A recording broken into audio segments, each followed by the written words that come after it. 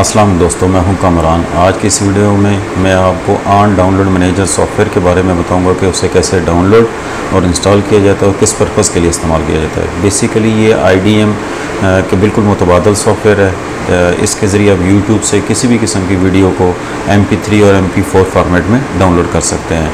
तो चलिए इस एक्टिविटी को परफॉर्म करते हैं। आन डाउनलोड मैनेजर लिख के आप सर्च करेंगे।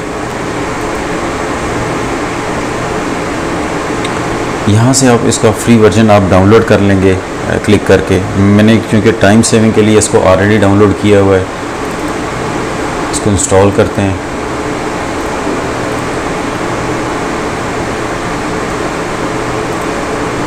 फुल वर्जन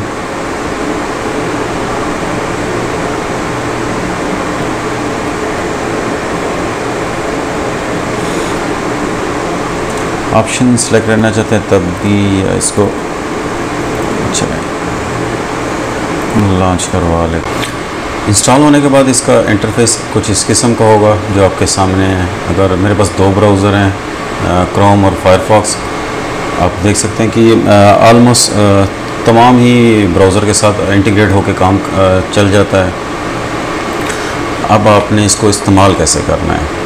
बस इसको मिनिमाइज़ कर देते हैं। ब्राउज़र अपना इस ओपन करते हैं। थ्री डॉट्स पे क्लिक करना है आपने। मोर टूल्स एक्सटेंशंस पे।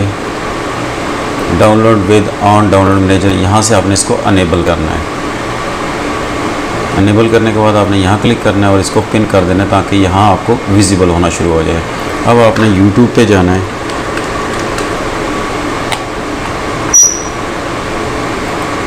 यहाँ मैं क्लिक करता हूँ।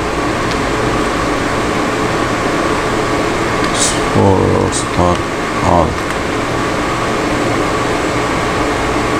इस छोटी वीडियो को करता हूँ ताकि जल्दी से हो जाए।